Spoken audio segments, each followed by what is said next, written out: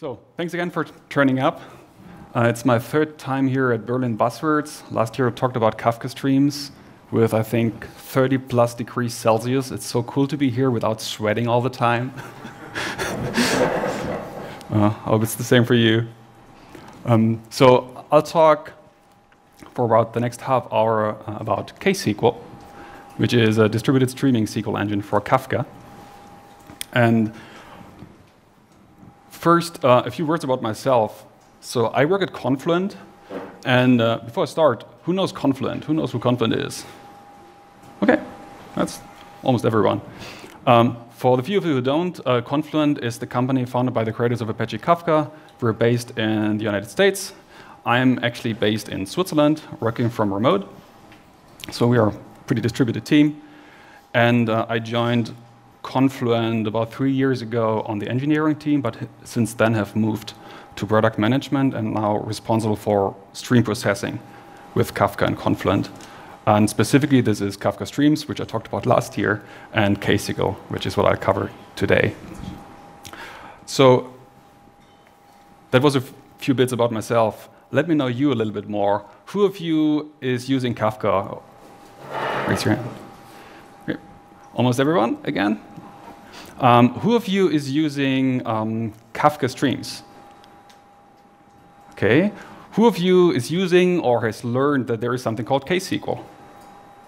Okay. A lot. Um, who of you knows SQL, like the traditional SQL, like MySQL, Postgres, and so on? Okay, everyone. Cool.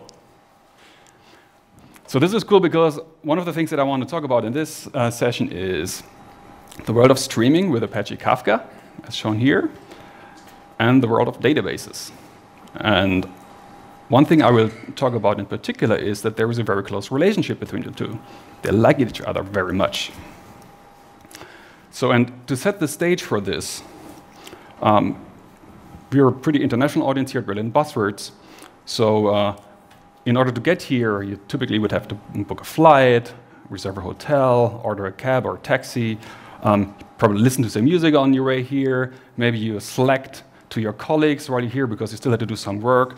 And as it turns out, a lot of these daily activities are nowadays powered by Kafka behind the scenes, whether you know it or not.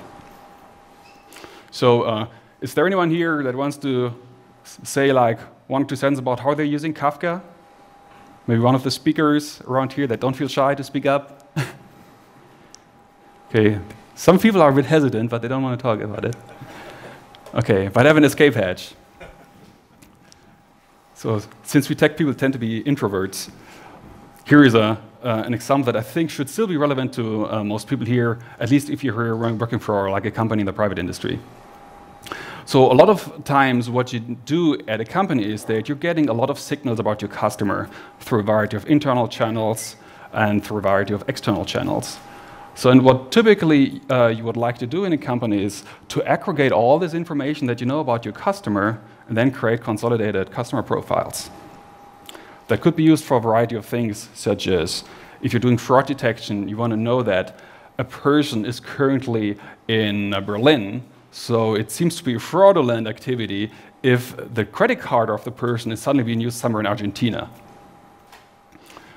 And there are a variety of scenarios where these things can help. And as you can see here, what we're looking at at a very high conceptual level is you uh, have a lot of input data, in this example, in the form of streams, and you want to process that in real time into a table, something like a normal database. So we talk about that later on in, in a variety of different facets. So here is where KSQL enters the picture. So as I mentioned before, KSQL is the streaming SQL engine for Apache Kafka.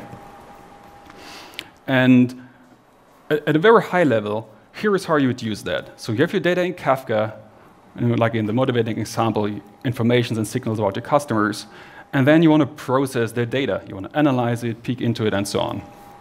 And with KSQL, you would run KSQL, and I show you what it means to run KSQL at the perimeter of your Kafka cluster, and then we'll talk across the network to a Kafka cluster in order to read data, write data, and so on.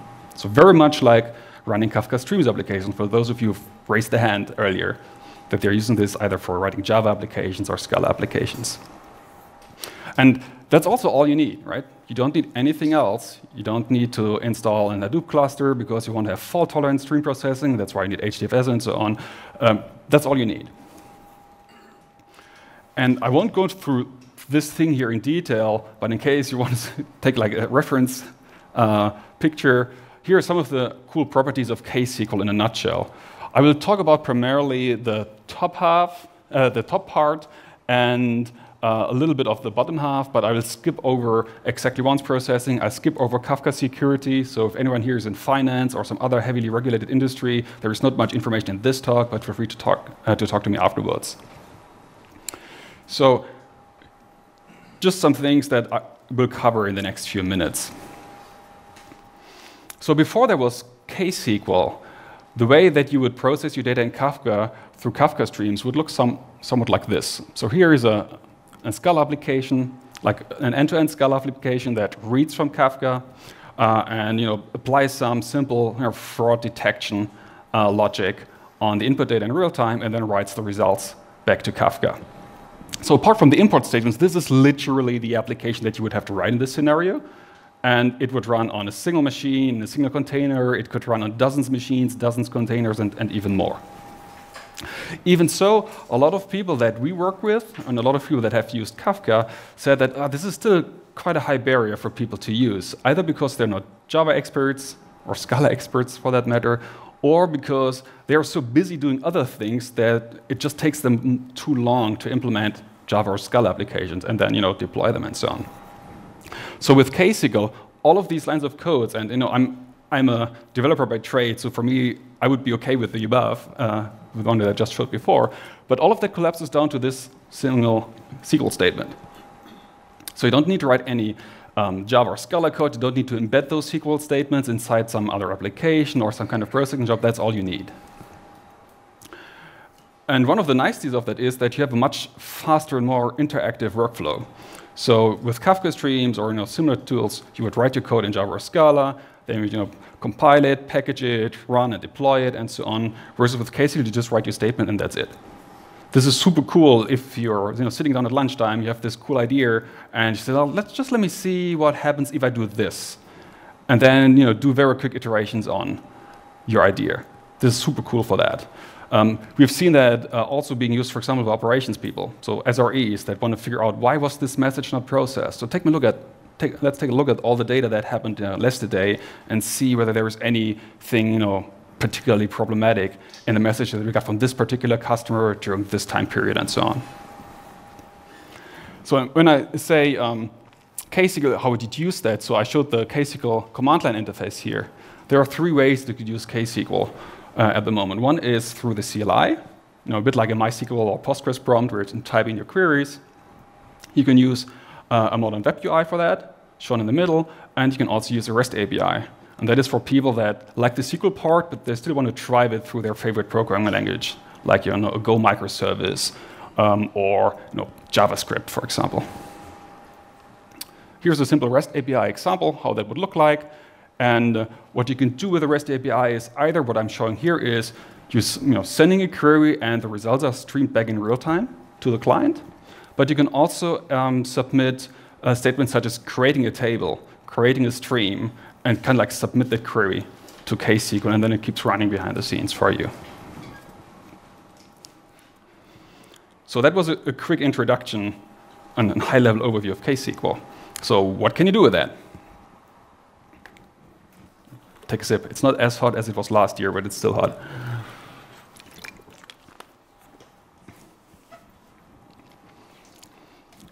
So one of the first things that people typically with KSQL in our experience is that they just enjoy looking at their data. So it's very cool if you want to explore your data in Kafka. So you know there are ways for you to see the topics available in your Kafka cluster. You can peek into what is actually inside a topic. So you know, oh, this is actually the one that I want to look at because I have this idea about you know combining customer uh, activities with you know profiles that we get from some external partner. And of course, you can do the normal SQL style of you know, selecting your data and so on. What you can, of course, also do is you can use it to enrich your data. So you could say that I have some a payment stream um, of incoming financial transactions, and I want to enrich that with customer profile information, like you know, the very motivating example at the beginning, and then I can make more informed decisions downstream whether or not I would flag, for example, this transaction as fraudulent or not. So it goes back to this idea if the customer is currently in Berlin and the transaction happens in Argentina, probably this is an indication that something fishy is going on. So what KSQL supports here is you know, joins, like stream table joins, and so on, where you can combine data sources in real time. You can also use it for things such as uh, streaming ETL or real-time ETL. So you can use it to filter data, cleanse data. So if those of you in the room who, like me, received dozens of emails about, hey, this is our updated privacy notice, there's this thing called GDPR, um, please read our new privacy policy. So a lot of these companies were also using KSQL in order to make sure that you know, data is being anonymized or pseudonymized uh, appropriately in order to comply with GDPR. And of course, there's a bunch of other things that if you're working in that space, you have probably had a whole lot of fun in the past few months. Similarly, you can use it for anomaly detection. So a very simple example was from the beginning. Here's another one, straightforward, so I, I can fit it on one slide. So what we're doing here is we're aggregating the raw input data, then we're making some you know, heuristics or some thresholding on the aggregates that we have just computed in real time, and then saying, okay, if more than X authorization attempts failed in a certain time period, then this looks like something bad is going on. So then we want to alert. We want to follow up. For people that work in an IoT space, whether it's like connected cars, you know, uh, earthquake sensors, whatever that is, um, you can do the same thing here. So you can look at the data in real time, aggregate it, and then alert, follow up, you know, create actions and trigger things off of that as well. And of course, it can be used for more mundane tasks. So oftentimes in Kafka, what you like to do is you want to convert data, for example. So let's say your input data is in JSON, but you want to have it in Avro, Or you want to repartition your data because you want to scale out.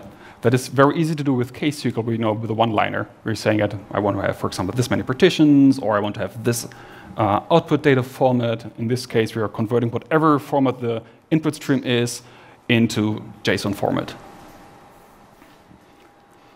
Now, where is KSQL not, su not such a great fit? Uh, KSQL is a streaming SQL engine.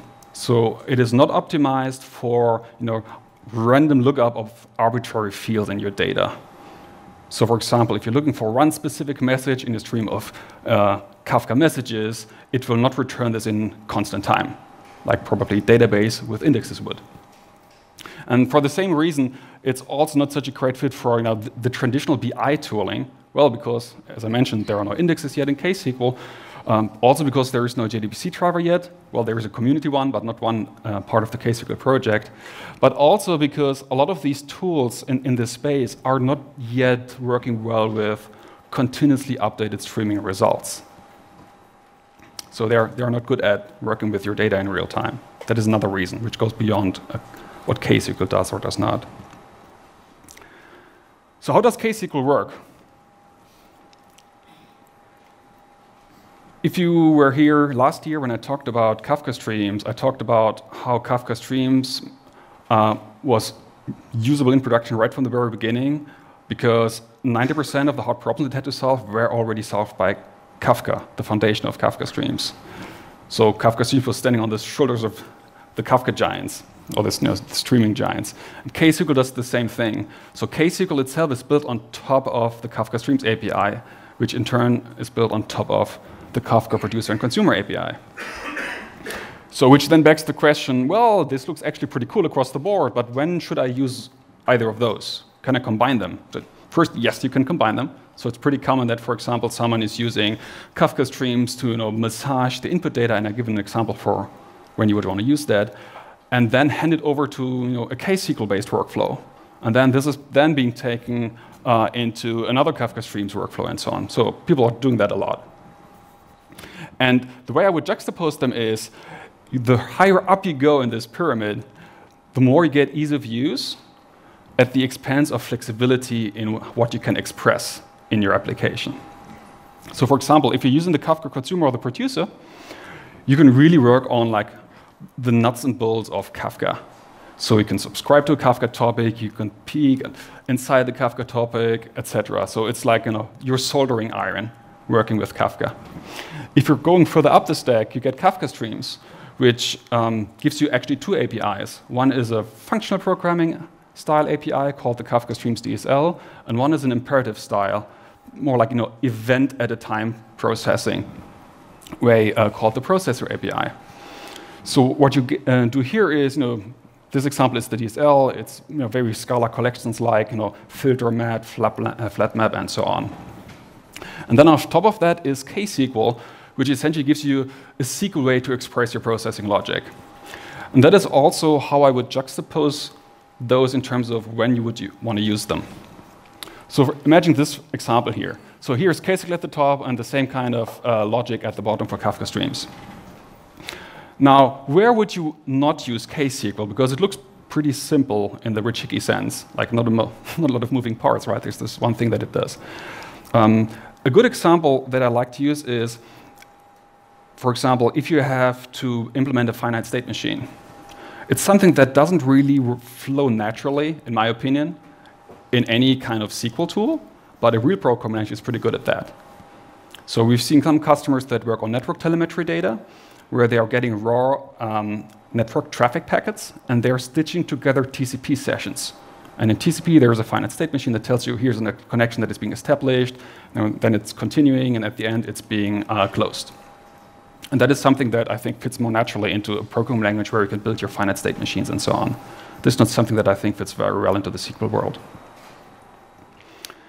In terms of architecture, now how does that all work behind the scenes? So with KSQL, there's, there's just one thing, really, that, that does the work, and that is the KSQL server, which is a JVM process. And the server has two parts. There is the KSQL engine, and the KSQL REST API. The REST API allows you to interact with the server. And you start the server with a simple command. And that could be on a physical machine, like your laptop, when you just download it and want to play with it for the first time. It can be a Docker container, it can be uh, on-prem, it can be in the cloud, it can be public or private cloud, it doesn't matter. Works as well as OpenShift, uh, on OpenShift as it does somewhere in a VMware-based setup, on GCP, or you know, with Google, uh, Google Cloud or Confluent Cloud. The actual processing happens in the engine, and as I mentioned earlier, this is based on Kafka Streams. So the engine in KSQL uh, utilizes the Kafka Streams API to do the processing. And as I mentioned earlier, there are a couple of ways they can use um, these KSQL servers interactively, either through UI, through CLI, or by driving the REST API directly in your favorite programming language. So, and just to stress the fact again that I mentioned earlier, because I think this is super important, um, KSQL, just like Kafka Streams, it runs everywhere. So wherever you can deploy a JVM process, you can deploy this. And that means it is equally viable for a super small scale use case, like a proof of concept or prototype, or for very large scale production setup. And that I think is pretty cool because typically with other, you know, particularly like the big data um, tools that originate in the big data world is you have to reach this minimal threshold of pain that you want to go through before you take the jump and start, you know, for example, using Hadoop or Spark. Here, you can use the same tool from your initial testing with test data locally all the way to large-scale production on you know, dozens of machines and more. And to showcase how that work is then, now how, how to go from like a single container, for example, to a distributed setup. As a reminder, KSQL servers read and write to Kafka across the network. They're not running inside the Kafka cluster. They're not running inside the Kafka progress. You can run one server or many of them. And if you run many of them, they automatically form a KSQL cluster. Behind the scenes, what they're doing is they're forming a Kafka consumer group, if you know a little bit about how Kafka consumers work behind the scenes. That means if they are in the same cluster, they're in the same consumer group, and thus they collaboratively uh, and in parallel start processing your data. And there's nothing you need to do. There's no coordinator that need to run, etc. There's no master node or anything. All of this is being handled by actually the Kafka backend behind the scenes. So if you need to have like five servers running, you run five containers. If you want to have two running, just stop three, and talk about that in a second. And similarly, because it's so lightweight to deploy, what we typically see and also what we recommend is that actually you deploy not just a huge, humongous KSQL cluster inside your company, so actually quite the opposite, because you want to um, deploy a KSQL cluster, and cluster sounds very heavyweight. You could say like maybe a KSQL deployment or a KSQL application per project or per team or per use case. That also allows you to use different versions of KSQL against the same Kafka cluster. So some teams prefer to use only like true and tried versions of KSQL that they have been using for six months. Only then they go to production with it. They can stick to these, you know, older versions, or then you can have, you know, the very innovative teams in the company that can wreak havoc and make a lot of mistakes very quickly. They can use the very latest version, or maybe even run of KSQL master, um, the master branch, uh, directly in production. So you can decouple teams and timelines very easily, which is super cool if you're in a company that has maybe more than 10 people working on that problem. So if you're like a small startup, it's super cool because you can get up and running like in a minute with this. But in a bigger company, often the problem is the organizational tooling and the organizational processes around that. So that also allows you to decouple teams and timelines very easily. And if you want to use KSQL, there are two ways you can do that. Here's the interactive usage, and I'll juxtapose the two in a second. With interactive usage, you start in one or more KSQL servers, and then you can interact with those servers now with your KSQL deployment through the CLI, the UI, or the REST API directly. The second way to deploy KSQL is in headless configuration. When you're doing this, the KSQL servers disable any interactive access, like the REST API is completely disabled, and the way they know what to process is through a SQL file that you give them. And in this setup, like these three KSQL servers, they would form know, a KSQL deployment, a KSQL cluster. They would only run those queries that are predefined in a SQL file that you give them. And that is pretty cool for companies that want to have you know, a clear audit trail, what is being pushed to production, what is not, that they can roll back if need be, and that in general should fit into their existing CI CD pipeline where you want to prevent human mistakes happening in production. So this allows you to lock down KSQL and minimize any mistakes you know, for human operators. So an example journey often looks like this. So people have an idea, they want to try this out. So what they do is they have an interactive KSQL uh, setup where they're just you know, typing their queries, seeing what works, what doesn't, and then they're making good iterations on that. And come production, no, then you know what you gonna, uh, what you want to do. You also have an idea about like the capacity that you would need. Do I need like one of them? Do I need like ten of them, etc. then you would run a headless KSQL deployment with you know predefined sets of queries. So very simple, and you can combine them as well. That said, there are of course also other people that use interactive KSQL in production as well. So also an option if you're fine with that.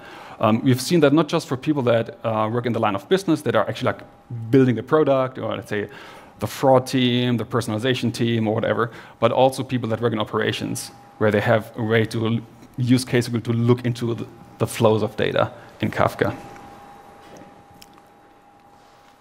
So now let's talk about something that is hopefully even a bit cooler if you're interested in the, the techie and, and conceptual side of things.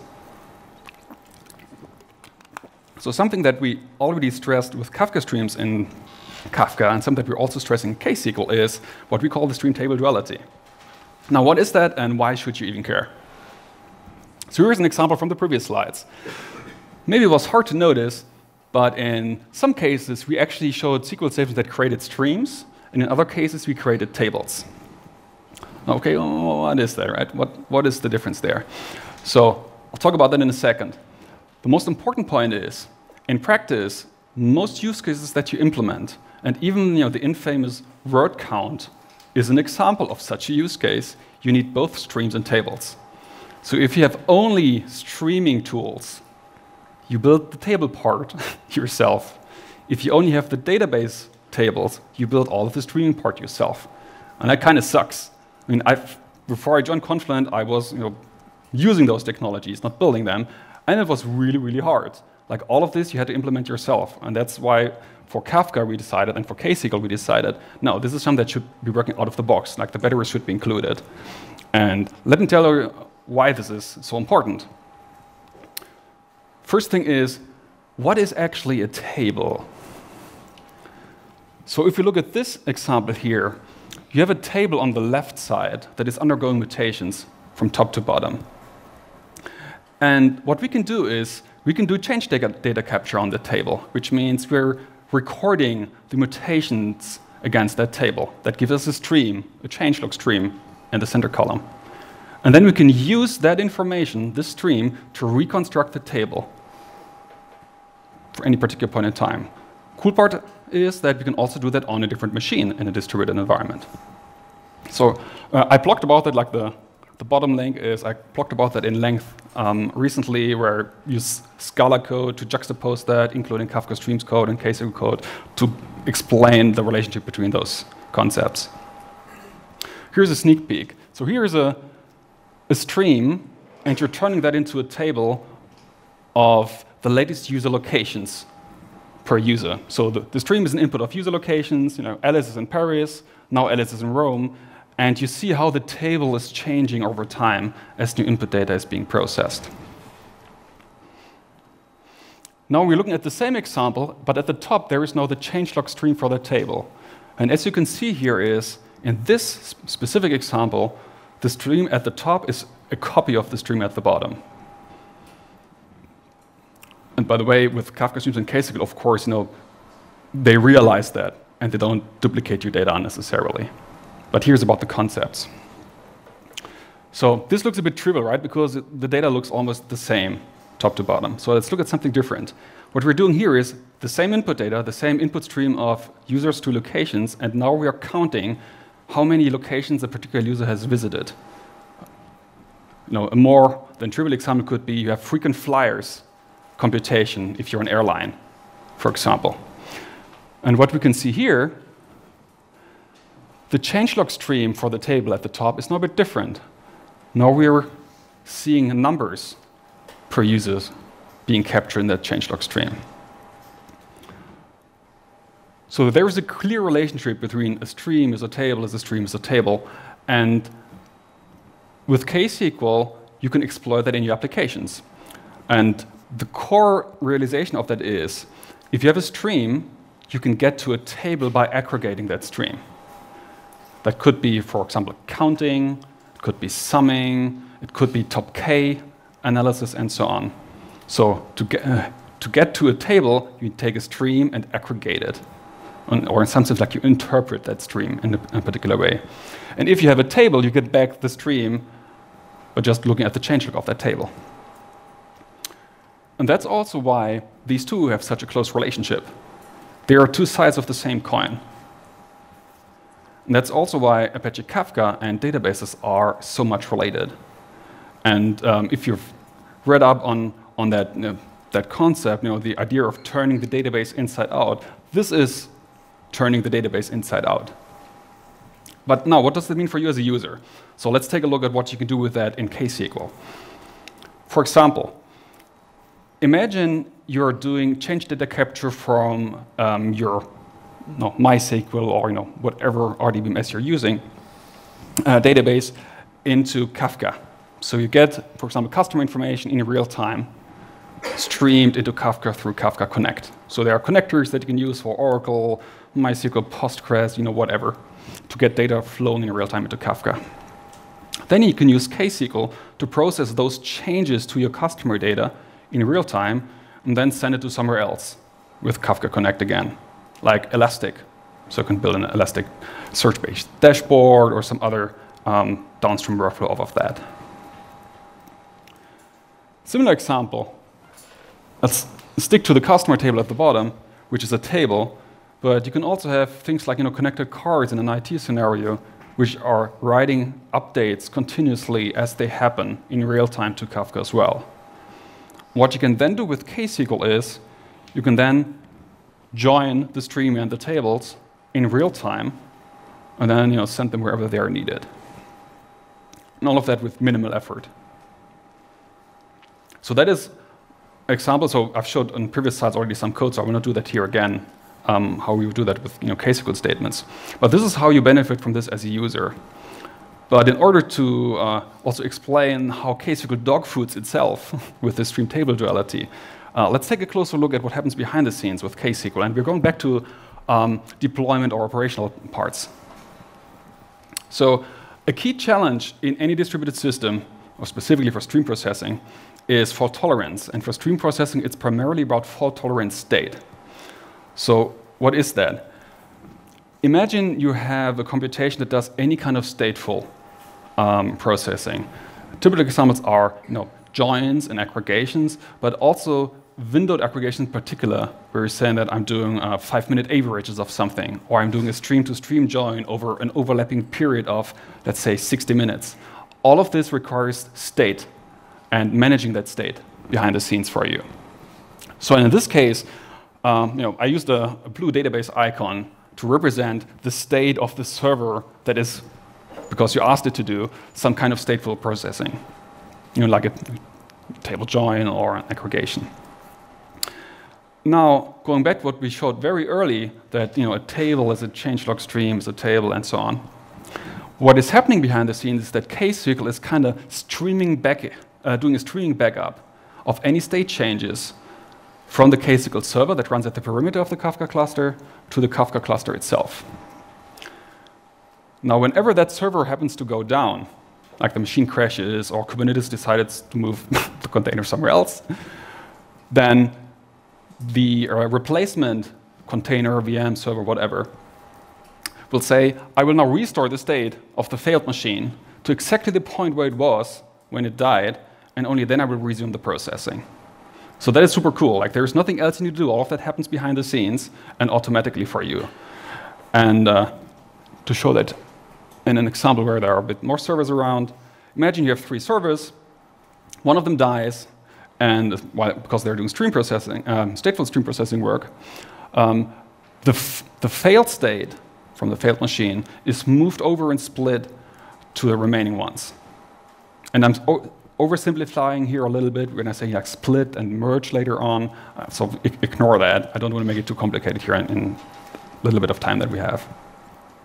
So what happens then behind the scenes is, if this happens, like server 3 dies, behind the scenes, because KSQL is built on Kafka streams, which is built on Kafka producers and consumers, a Kafka consumer group rebalance is triggered, which is essentially the event saying that, oh, something happened with one of the things that we're, that we're doing the processing. And as a result of that, processing, like the logic, plus the state of the processing, is being migrated to a new place. In this case, it's being migrated to the live servers that are still running.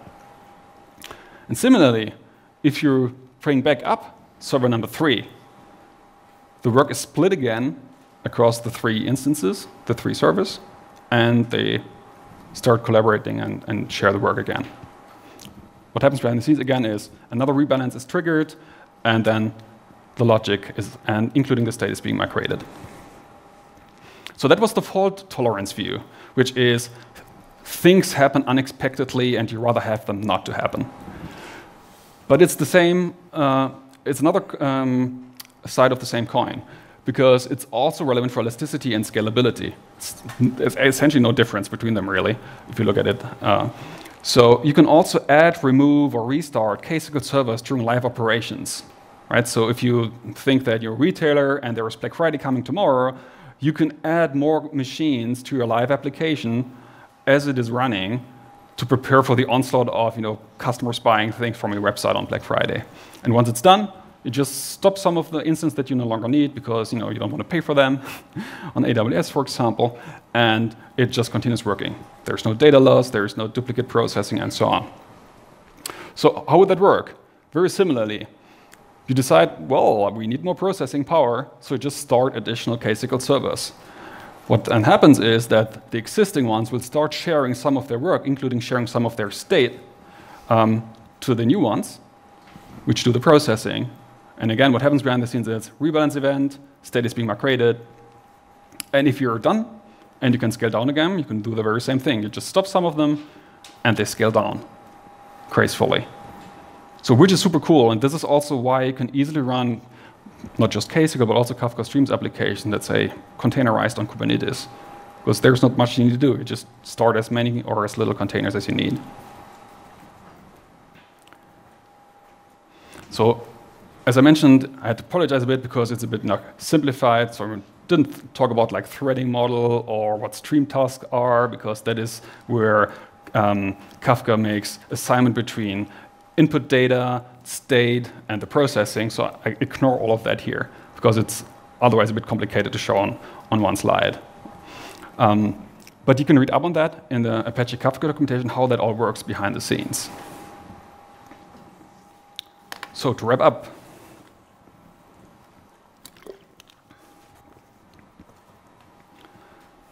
so if there is only one thing that you should probably remember for today is that KSQL is the streaming SQL engine for Apache Kafka. So if you like to use SQL in order to express what you want from your data, KSQL is a great tool if your data is in Kafka. It has a bunch of nice properties. Some of them I just alluded to. Um, I ignored that it can do exactly once processing. I ignored that it um, integrates natively with Kafka security, so you can encrypt data in transit between you know, the KSQL uh, servers and your Kafka cluster. You have authentication and authorization, you know, particularly now here in Europe, when you want to prevent um, people from you know, accessing sensitive data in your Kafka installation. You can do that also with KSQL. It, uh, it fits right in.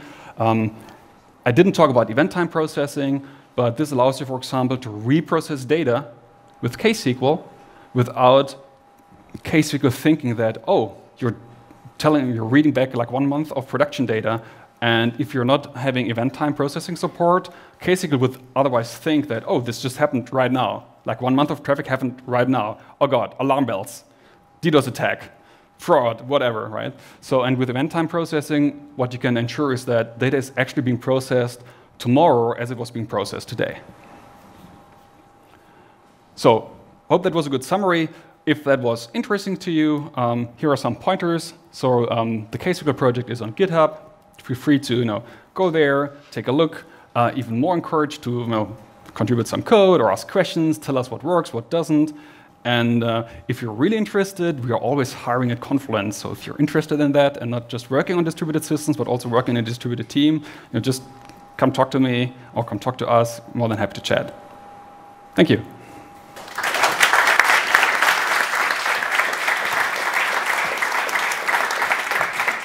And I think we have time for like question, a few questions.